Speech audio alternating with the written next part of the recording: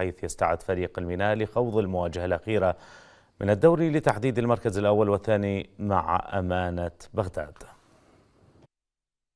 لسان الحال يقول الميناء بمن حضر ومن دون المحترفين.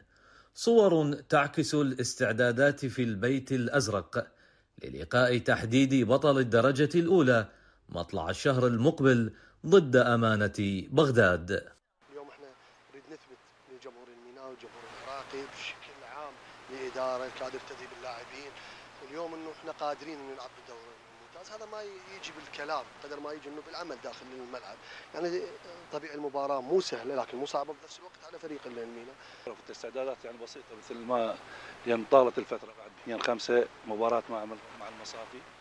وبالتالي يعني ذهاب أكثر من لاعب محترف إلى إلى إلى بلده. أكثر من لاعب محلي. بغداد أو المحافظات.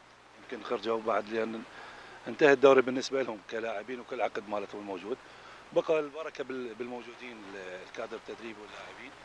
على أتم الجاهزية رغم تأجيل المباراة بأكثر من تقويم باخرة الأزرق تنتظر سواحل النهائي لتختم على موسم كان صعبا ولكن ختامه ربما يكون جميل.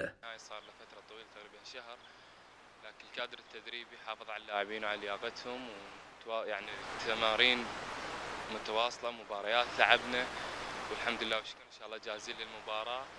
القرب من التتويج أو الابتعاد منه لا يغير من فرحة العودة إلى دور الكبار.